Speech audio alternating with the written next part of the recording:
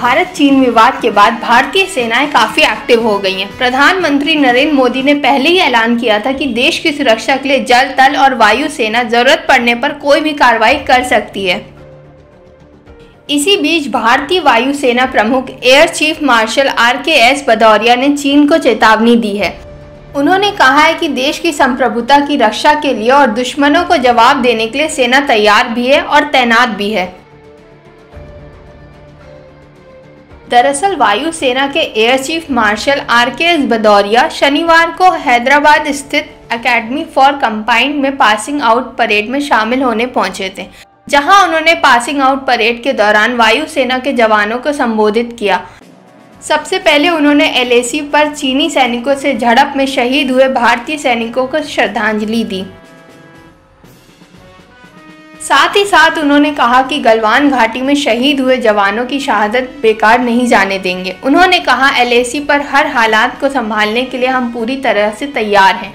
उन्होंने बताया कि भारत शांति से सभी मुद्दों को सुलझाना चाहता है, लेकिन हमारी सेना किसी भी आक्रामकता का जवाब देने के लिए भी तैयार है। Security in region.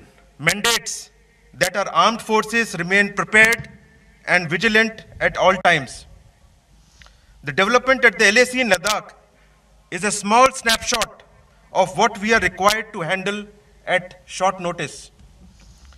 In spite of unacceptable Chinese actions after agreements reached during military talks and resultant loss of life, all efforts are underway to ensure that the current situation at LAC is resolved peacefully.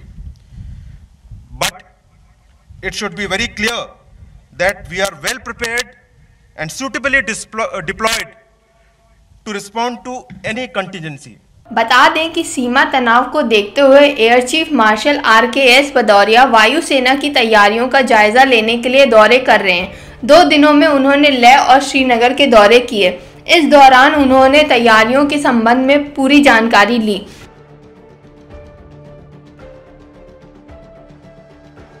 बहरहाल, आज आयोजित हुई passing out parade के साथ भारतीय air force को 123 जांबाज मिले हैं, जिनमें 19 महिला अफसर शामिल हैं। एयर चीफ मार्शल ने पासिंग आउट परेड को सलामी दी। वहीं कोरोना वायरस संकट के मद्देनजर इतिहास में पहली बार किसी पासिंग आउट परेड में कैडेट्स के माता पिता अभिभावक शामिल नहीं हो पाए हैं।